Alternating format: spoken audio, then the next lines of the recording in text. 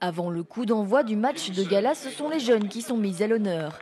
Les équipes de Wallin, Bierge, Perouet, Gré reçoivent tour à tour leur coupe des mains des représentants politiques ou des sportifs. Place ensuite à la photo de groupe avec ceux qui monteront sur le terrain pour le match de gala. Deux équipes vont s'affronter, sportifs et artistes dans la première, politique et médias dans la seconde. Parmi eux, Mathieu Michel, peu confiant quant à sa future prestation sur le terrain. Pour moi, mal. Euh, pour mon équipe, j'espère bien. Euh, mais bon, a priori, si je suis dans une équipe, c'est plutôt celle-là qui va perdre.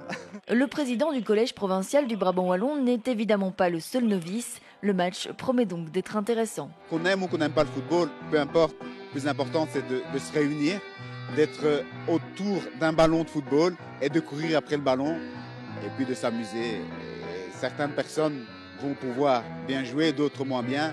Mais en tout cas, le plus important, c'est quand le match sera terminé, on pourra tous rire, rire ensemble. Mbo Penza sera en bord de terrain aujourd'hui. Comme George Highlands, il assurera le rôle de coach. Il est temps à présent de dévoiler la composition de leurs équipes.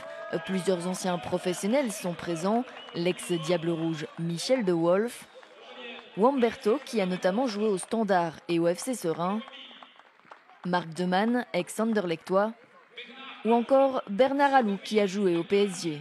Tous sont venus prôner le vivre ensemble après les attentats qui ont touché la France et la Belgique. Ça réunit finalement artistes, sportifs et la symbolique est aussi très forte puisqu'ils sont venus ici pour se, se produire et dans l'équipe de France, si vous me passez l'expression, il y a aussi des artistes, des humoristes, des sportifs, comme dans notre équipe il y a aussi des journalistes, des politiques et des sportifs.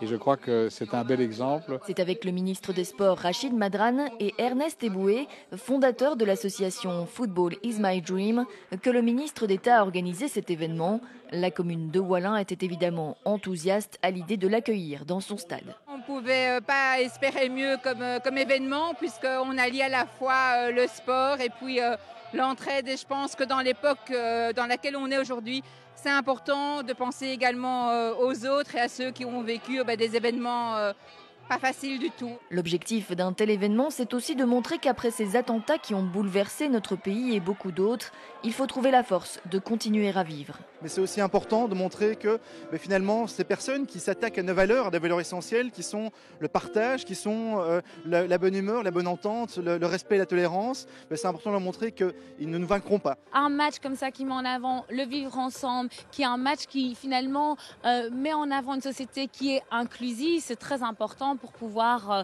prévenir par rapport à ce problème de société. Sur le terrain, comme dans les tribunes, la bonne humeur était effectivement au rendez-vous.